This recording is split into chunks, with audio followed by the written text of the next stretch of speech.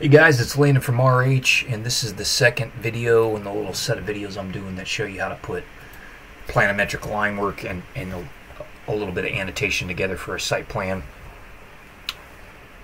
So in the last video, we got our drawing set up with our high resolution orthophotography, and I just traced that first feature, which was the creek.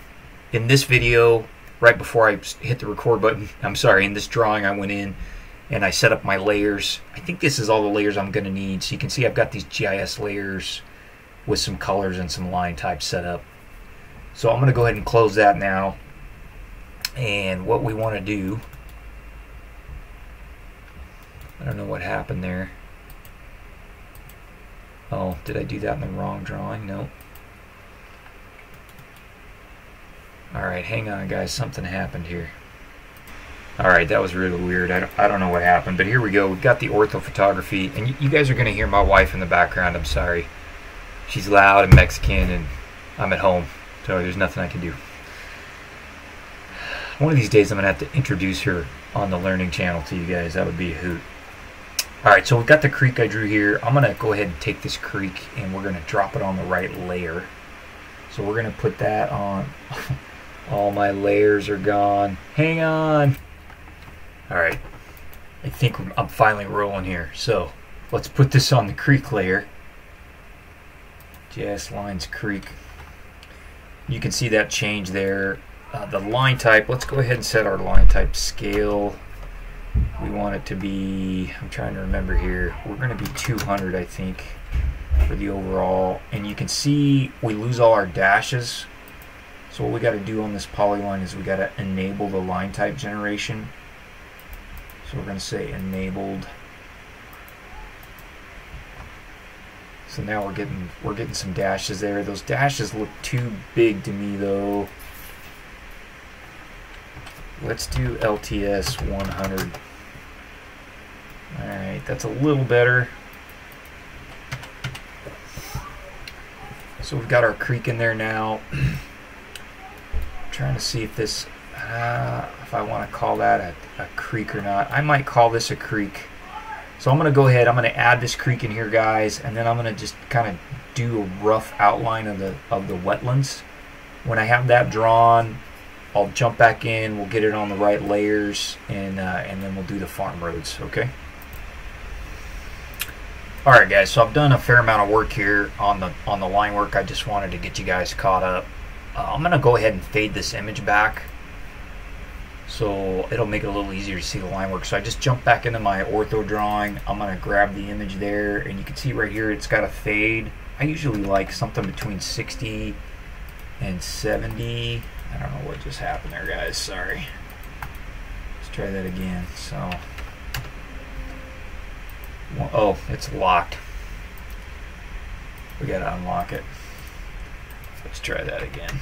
Alright, so you can see we got a fade on it now. Let's go ahead and lock that again, save it. When we jump back over to the line work drawing, it'll prompt us for a reload. So you can see that makes the line work really pop. And the other thing I did is I had to go in and add a couple new layers. You're going to find sometimes that happens as you're working on the, on the planimetric. So they've got some fire breaks in here. So this farmer uh, has put in. This is all fire break here. Uh, it's not really a road, it's a fire break. So I made a fire break layer. They've got the airstrip, so I made a, a layer for the for the airstrip center line. Let's go ahead and just make that a little bit of a different color. So we've got the airstrip.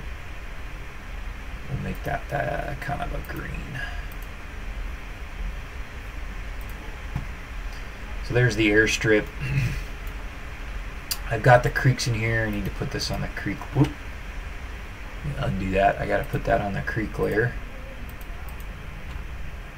Okay, then I went ahead and, and put in some approximate wetland boundaries, which you can see there. Now, what I'm going to try and do, I wanted to show you guys this, is I'm going to run the revcloud command, and then I'm going to take an entity, specify first point or entity. Let's hit enter.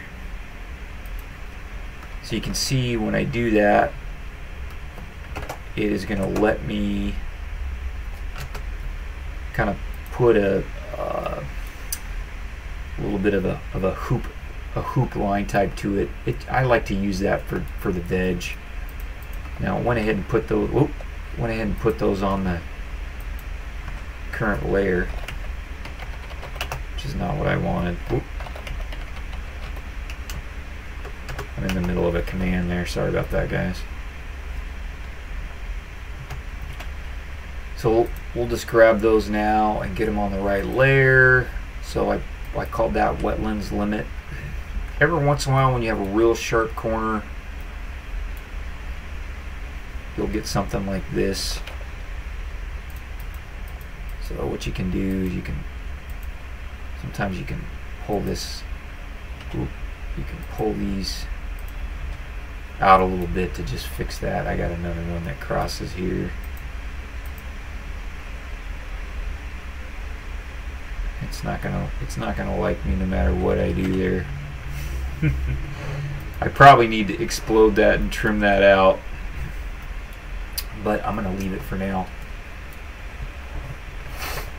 Alright, we got a couple more. There's a couple more pieces here, guys. Sorry, let me fix that. So we'll rev cloud these.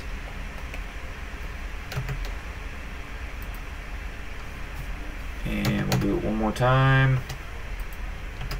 Oh. So on this one, I want to reverse the direction.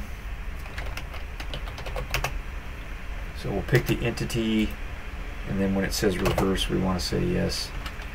So those look good. We'll get those on the right layer. So I've just about got everything I, I think I want for the pl planimetric line work on this outside edge. Now I, I looked at, I took a close look at this. This is a little berm. I don't know that I'm going to put that in there. Um, and this really isn't a road. This is actually a fire break. So let's go ahead and we'll, we'll draw in this fire break real quick. Because I've actually I've actually walked this and you, you can't drive it. He's just basically tilled this fire break in, the farmer. So it looks like the fire break goes to about there. This is actually the farm road. Now those line types are a little bit too similar. Did I put this on the farm road layer? No, so let's fix that. Those those layers just look too similar. So let's make our fire fire break something a little bit different. So we're gonna give that yeah, it's a little too red. Give it kind of a burnt brown. And let's give it a we'll go with a hidden line type.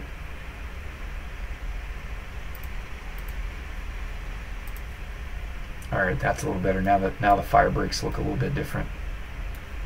So I think I'm about I'm about done here. Oh, the other new layer I added, guys, was there's this main irrigation ditch coming in here. I didn't want that on the creek layer, so I went ahead and put that on the irrigation layer. So I think that's about what I want. Now we may end up I may end up putting a hatch on that wetland area. I think that might might be helpful. And then I might we might go ahead and hatch these as rice fields and uh, it looks like this is mostly grazing ground. This could get hatched as grazing grazing ground, but I might just do that with some labels. Well, uh, I don't want to go crazy with the hatch because it might it might overwhelm. We're gonna have some. We're gonna end up with some contours on here too, and some line work and labels for the for the boundary. So I, I don't want to go crazy. I think that hatch might be too much. So this is pretty good for the for the planimetric line work for this overall parcel. I'm going to go ahead and save it. So what I'm going to do in the next video is we're going to come in and we're going to just focus on this area here. We've got a, a couple, a little shed, a couple little sheds, a trailer, the main house. We've got another kind of manufactured home here. We've got a garage. Uh, we've got a, a, shop build, a couple shop buildings. Uh, we got to label this solar. We got the well and uh, the septic and a couple things that need to go in here. Maybe the driveways might have to label the driveways so we'll go ahead we'll, we'll, we'll start working on this in the in the next uh, in the next video